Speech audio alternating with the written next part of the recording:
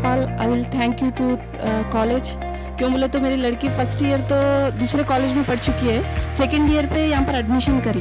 But I am so so happy क्यों बोलो? जो फ़र्स्ट ईयर पढ़ी थी ना, वो कॉलेज में सेक्शन डिवीज़न की वजह से वो बहुत डिसअपॉइंट होती थी। कॉलेज नहीं जाती हूँ, ऐसा बोलती थी। बट यहाँ पर आई ना अच्छा रिज़ल्ट निकाली और एक प्लेसमेंट क्या है बोले तो नीट सेक्शन में है वो मेरी लड़की। नीट सेक्शन में भी अच्छा करी।